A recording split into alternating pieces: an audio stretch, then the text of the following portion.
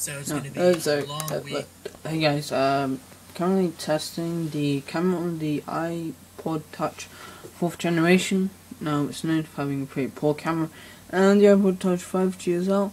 But as you can see here, I was actually watching, if that works out, uh, David DeFranco was doing a video on FaceTime on the iPod Touch 5G, which has a much better front, and, well, I'm the rear camera, but obviously you can't see that because I'm using the front facing camera.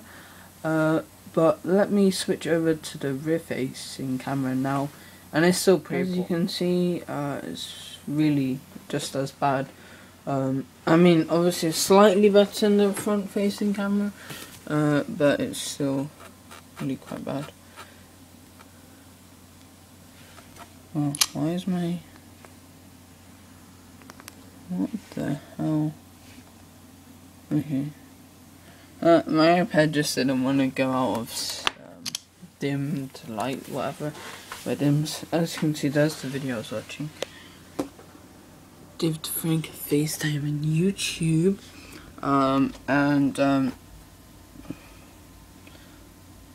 FaceTime, yeah. Uh, also, I'm uploading a video for another channel called SG HD 101 It's a new channel me and my friends are doing uh, about software and gaming and other stuff. I'm also doing vlogs on there now, um, which is really awesome. So uh, go there.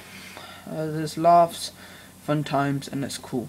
Um, and I probably will upload this to my second channel just because I haven't done a vlog in ages, and this was a good excuse to do a vlog. Um, so, um, thanks for watching. I'll see you in, well, hope that frame's right. I'll see you in the next video. Bye bye.